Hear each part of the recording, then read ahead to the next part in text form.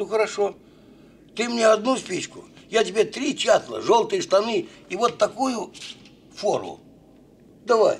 Нет, Голубые штаны. господин Уэф, я не буду ни при каких условиях. Заднее слово.